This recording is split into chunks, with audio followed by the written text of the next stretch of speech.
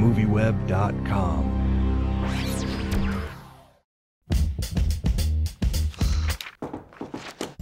Why wait? Just an hour, but you know.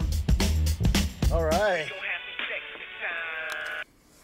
Hey, you? Eleven? Yeah. What do we? Uh, what do we make it? Ten thirty. Allison, promise I never have to see him again. Guys, come on! I want to get a picture of Sophie with her godparents.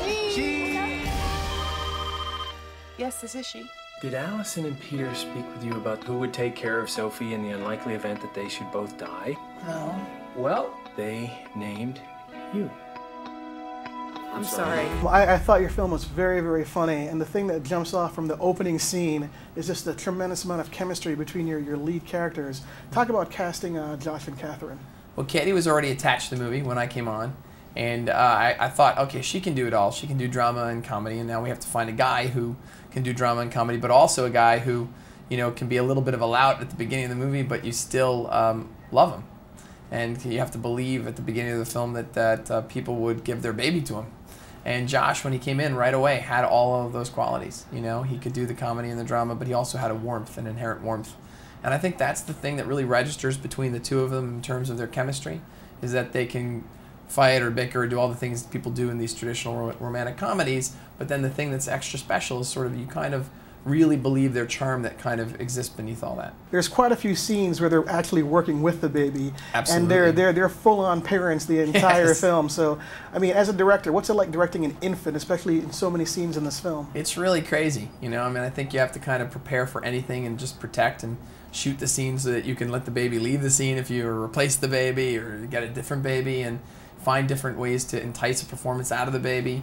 Uh, you know, uh, whether it's food or whether it's a toy or whether it's a song or anything you can do to kind of get a reaction that you think you'll need in terms of the shape of what the scene is, and still also protect the scene for the adult actors uh, so that they can have the connection that they're having. So you're, you're really trying to kind of create an atmosphere where everybody can do their best. I think it's you know from the trailers you can see that you know they, they inherit the baby from their Right. friends who die. Right. So there's a, a sense of tragedy in there as well. Yeah. Talk about how the original script was to where the film was. How much tragedy do you want to put in there? You know, leverage the comedy and so on. Yeah, I think when, when I read the original script, we, we definitely, from there, we added more uh, drama and more humor. I think we wanted more of both, you know?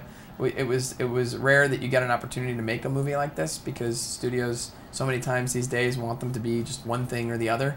And this one actually was both. So, um, and, and Katie, you know, had the ability to sort of make a movie go just by saying, I want to do it because of her track record. And she wanted to make a movie like this, so it was a great opportunity.